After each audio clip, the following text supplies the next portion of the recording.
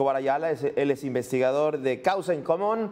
Fernando, con el gusto de saludarte. Y bueno, eh, se ha, dicho hasta el cansancio, durante seis años estuvimos escuchando que la estrategia de, pues para atender la seguridad pues se basaba en los eh, abrazos y no balazos y que todo esto partía la situación que eh, pues estaba enfrentando el gobierno federal eh, derivado de una guerra que encabezó en su momento Felipe Calderón y que bueno, ahora vemos con el caso de Genaro García Luna, el entonces secretario de Seguridad Pública, a quien le dan 38 años de prisión.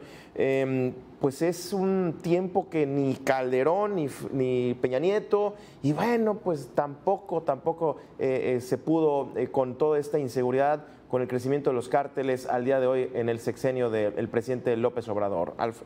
Fernando. Sí, a ver, creo que haces un panorama muy exacto ¿no? de la situación que estamos viviendo en términos de violencia en el país, la cual yo llamaría un poco citando a Eduardo Guerrero como la tercera derrota, una tercera derrota al hilo.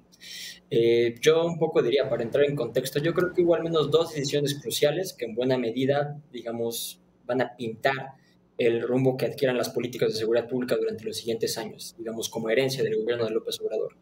Por un lado, la constitución de la Guardia Nacional, un ente militarizado, y el desmantelamiento de la Policía Federal.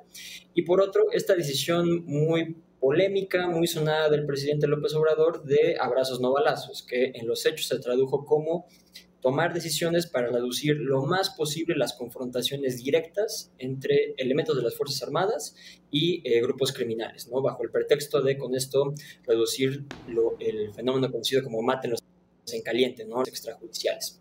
Yo te diría, estas dos decisiones en concreto tuvieron múltiples resultados. Uno por un lado, total, uno por un lado, eh, la aparente reducción de delitos como el robo en todas sus variantes, una disminución marginal, hasta incluso yo te diría polémica, cuestionable de los homicidios dolosos, pero también, al parecer, un aumento de otros fenómenos criminales como la extorsión, las desapariciones forzadas, todo esto muy en línea, bien lo dices, con la aparente expansión y consolidación de organizaciones criminales viejas y nuevas en varias regiones del país. Casos sonados, ya lo sabemos, el cártel Jalisco Nueva Generación, el cártel de Sinaloa, eh, y organizaciones más pequeñas, ¿no? Pero igualmente hasta incluso más violentas, ¿no? Los cárteles unidos, el cártel de Caborca, el cártel de Ensenada, el cártel de los alemanes, etc. Entonces, este, digamos, es el México que hereda López Obrador. Sí, yo creo que un México con eh, mayor presencia, con mayor dinamismo de las organizaciones criminales, producto de esa decisión que se tomó de reducir o de disminuir la confrontación directa. Es, eh, siguiendo con esto, eh, la estrategia parece, parece que podría ser muy parecida a la del presidente López Obrador, hablando de balazos, abrazos, no balazos, pero con ciertos cambios, ciertas atenciones, ciertas pinceladas que me parece que ahí ya veremos, es muy poco tiempo ya para empezar a evaluar la estrategia de seguridad. Hoy veía eh, muy temprano en la Ciudad de México, dos hechos muy violentos que están sacudiendo fuerte a la Ciudad de México, también en Sinaloa. Es decir, la violencia ahí está. Urge, urge, eh, eh, me queda claro. Es, no sé si estos pequeños cambios o pequeños añadidos podrían, digamos, tratar de cerrar la pinza que no cerró eh, con la, política solamente de abrazos, no balazos. Y me enfoco en el tema de la inteligencia, la neutralización de los generadores de violencia y pues supuestamente una coordinación, dice, absoluta entre la Guardia Nacional, que ya va a ser militar o digamos va a tener ese aspecto militar en la Sedena, y eh, las demás corporaciones. No sé si eso podría cambiar, Fernando.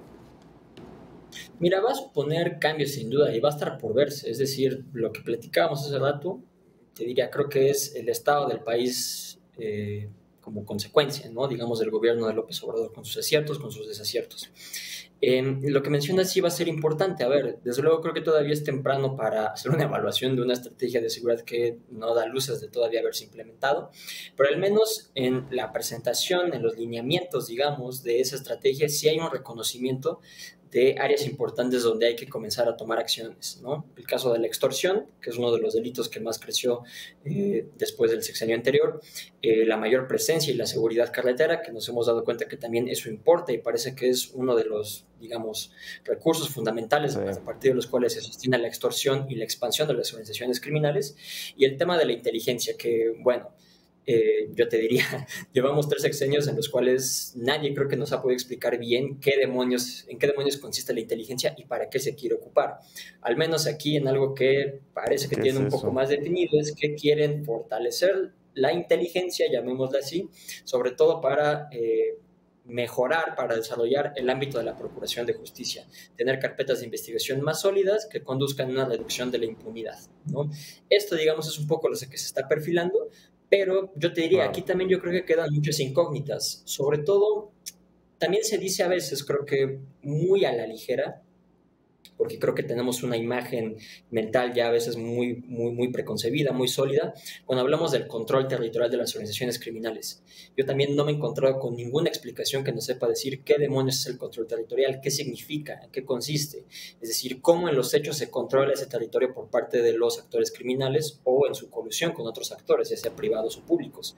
Eh, yo te diría, esperaría que la operación de inteligencia se, eh, digamos, se apunte también a resolver ese tipo de incógnitas, ¿no? Sabemos que es un control territorial, con esto cierro, que varía de región en región, ¿sabes? Desde luego, el control territorial que se ejerce en la Ciudad de México no es el mismo que se ejerce en la sierra, no es el mismo que se ejerce en la costa, ¿no? Pero aquí sí es muy importante otra vez para conocer en qué consiste, qué está permitiendo este control territorial, ¿no? Claro.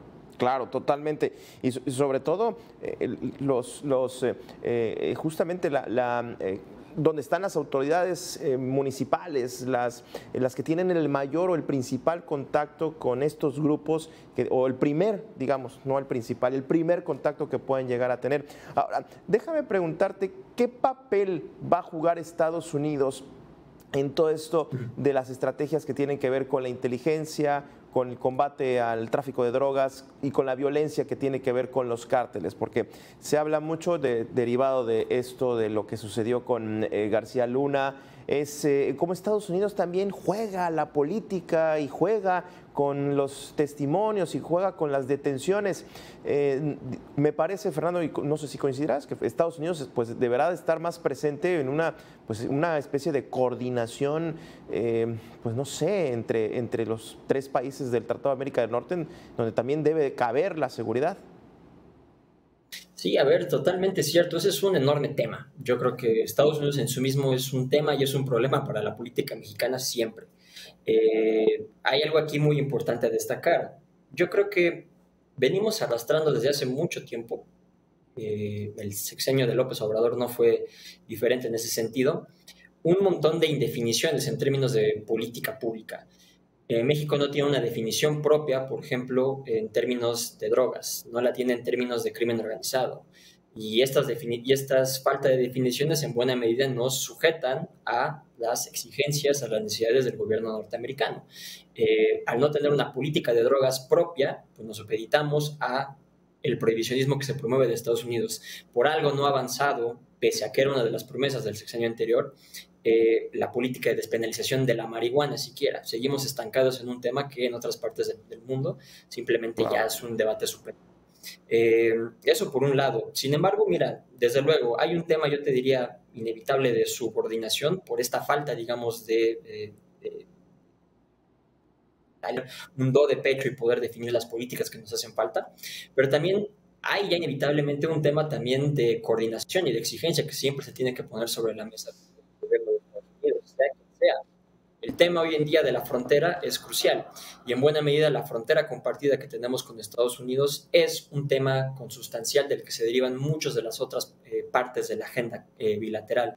Eh, digamos, a Estados Unidos les importa no nada más por el tema de los migrantes, sino también desde luego por el tema de la seguridad, pero también a nosotros nos importa por el tema del tráfico de armas. ¿no? Entonces, la coordinación digamos, no nada más en términos de inteligencia, sino política, tiene que existir ahí para que por lo menos exista ese entendimiento de que hay un problema compartido que se ocasiona desde la frontera, que tiene repercusiones para ambos lados y prácticamente en todas las áreas de los dos países.